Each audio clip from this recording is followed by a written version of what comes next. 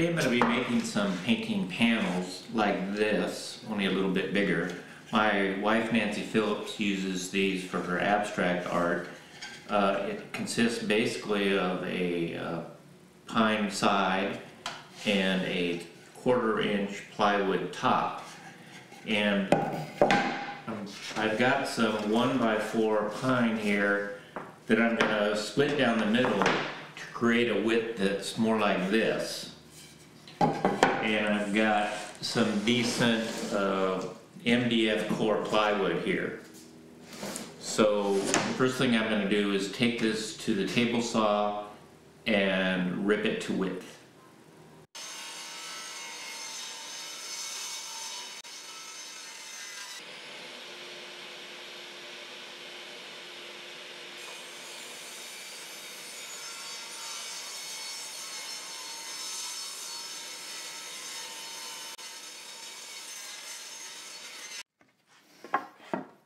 My two one by fours are now four one by about uh, one and five eighths.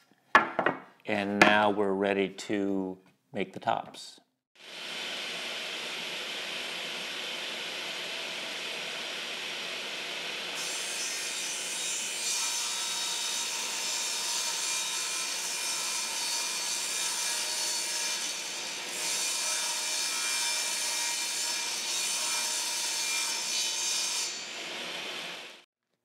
I'm making three 12 by 12 panels and I want to cut each of these tops to be slightly over 12 inches in both directions.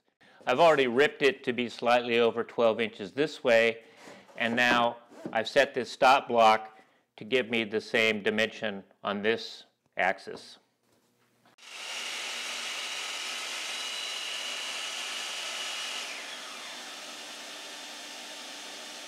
In the end I'm going to need uh, 12 pieces that are exactly 12 inches long. But to get started I'll cut everything to 13 inches and that'll give me some leeway when I go to cut my miters.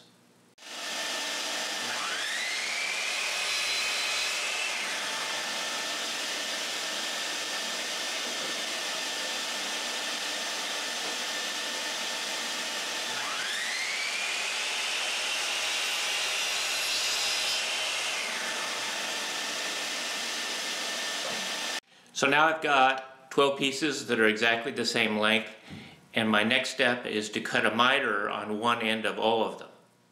It's exactly 45 degrees.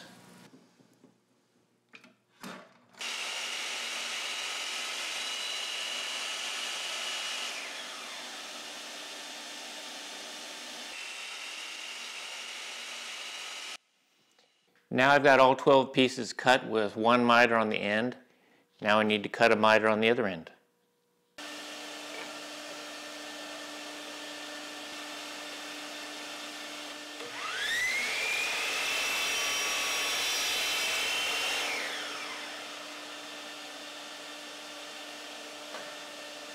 Okay, so now I've got my three sets of 12 inch sides and my three tops and we're ready to glue up. I have a lot of different clamping options here in the shop, but uh, for small pieces like this, especially when I'm going to be doing repetitions, I like to use this picture frame clamp. It's a pretty simple one that just works off threaded rods and it lets me put in my pieces and operates kind of like an extra set of hands. I keep a square handy to check things just before I tighten it up. And although glue would work perfectly well to hold this together by itself, I'm going to save time by using a, a finish nailer to tack everything in place so I can finish up one, take it out of the clamp, and, and load up the clamp again with the next one. So what I usually do is put glue on uh, half of the miters and I'm going to be rubbing them together to spread it. There's no real rush to this. In fact, if the glue gets another minute or so to soak into the wood and get a little tacky, that'll actually make things easier.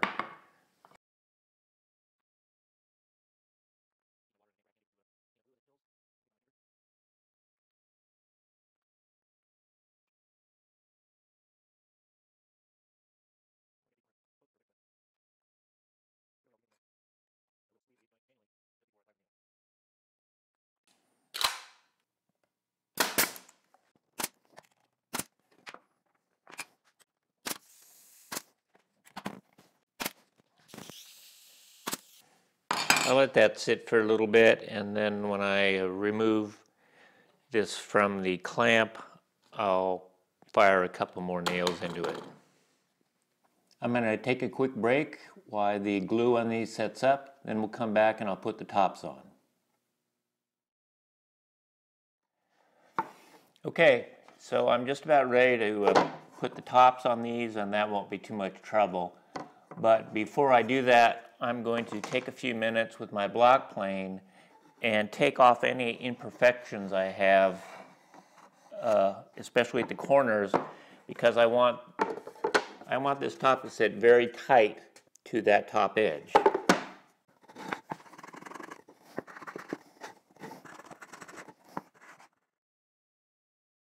Okay, I've got these cleaned up now and I'm ready to uh, put some glue on these and attach my panels. Uh, for this part I've switched my nail gun to a brad nailer which shoots a very fine, almost a wire brad. Uh, and it's not really necessary for strength but it'll hold my panel in place while the glue is setting up.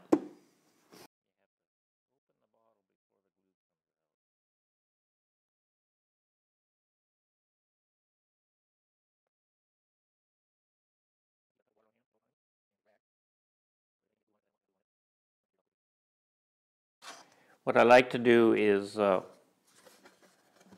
put the panel on about right, squish it around a little bit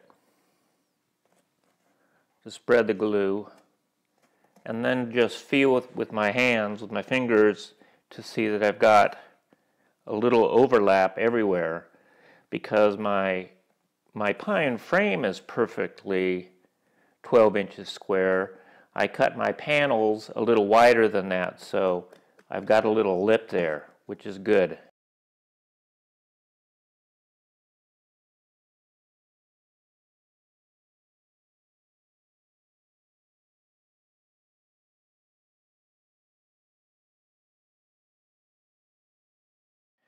I'm at my little router table now for my almost final step.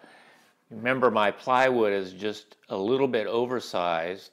I planned that in advance because now I'm going to use this trimming bit to take off that edge and make everything perfectly smooth on the sides.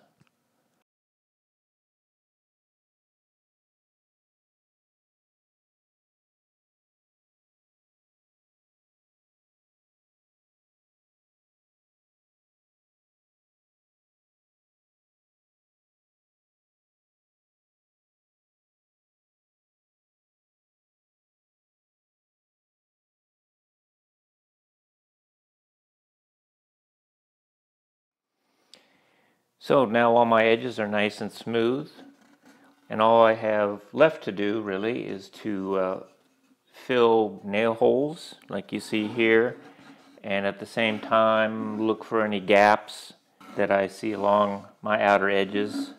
So I use this, it's, it's a product called Wonder Fill and it seems to stay moist longer than most uh, similar wood fill products.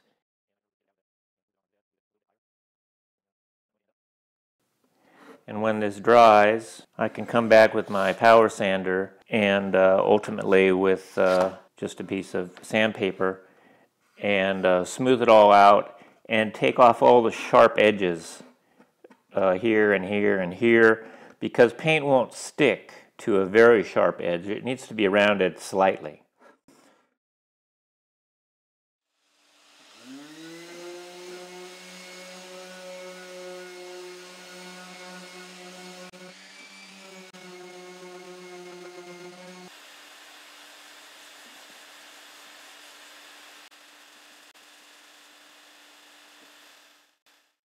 Don't forget to visit my website at jamescrandall.com to get occasional updates on new paintings, shows, and workshops.